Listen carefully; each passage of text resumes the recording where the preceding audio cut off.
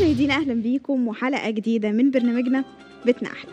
يطلع الله إلى يطلع الله إلى جميع خلقه ليلة النصف من شعبان فيغفر لجميع خلقه إلا اتنين لمشرك أو مشاحن والحقيقة النهاردة كده بدأ العد التنازلي وكلها أيام بتفصلنا عن خير شهور الدنيا وساعات بسيطة بسيطة عن ليلة من أهم ليالي السنة.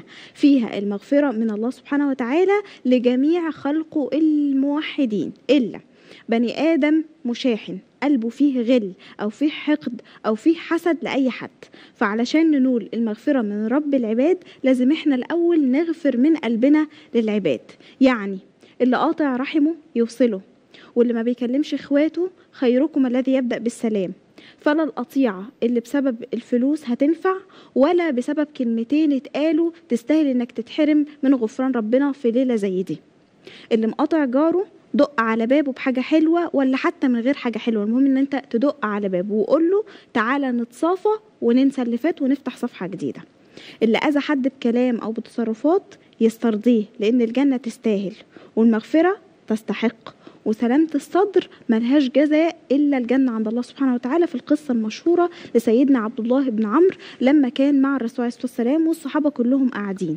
وقال لهم سيدنا النبي عليه الصلاة والسلام يدخل عليكم اليوم رجل من أهل الجنة ودخل عليهم راجل. كررت الحكاية أكتر من مرة فسيدنا عبد الله آه طلب إنه يروح يبات عنده عشان عايز يعرف هو ليه من أهل الجنة.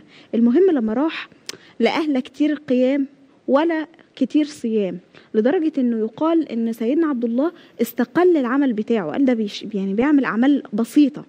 فقرر إنه يسأله بعد ما قال له الكلام اللي سمعه منه عن سيدنا النبي عليه الصلاة والسلام. فكان كل جوابه بسيط قال له إيه؟ قال له إن أبات وأنا سليم الصدر لا عنده غل ولا عنده حسد ولا عنده أي حقد. فما بالكم في ليلة زي ليلة النهارده.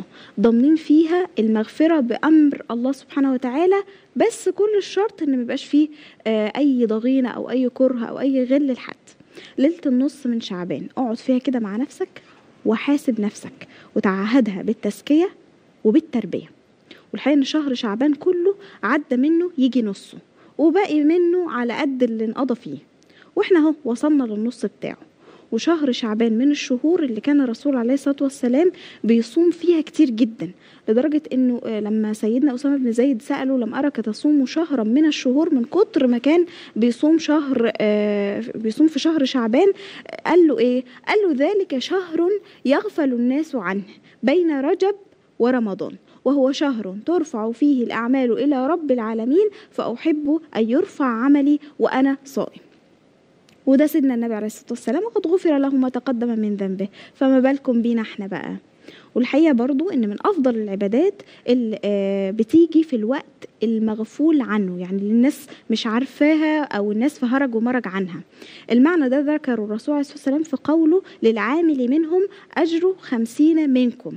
آه إنكم تجدون على الخير أعواما وهم لا يجدون أو ولا يجدون في رواية تانية. طيب إيه أفضل الأعمال؟ في شهر شعبان هنلاقي إن في أعمال كتير لكن الرسول عليه الصلاة والسلام كان آه بيصوم في الشهر ده بشكل كبير جدا كما روت السيدة عائشة لدرجة إنه كان آه شبه بيصوم شهر شعبان كله.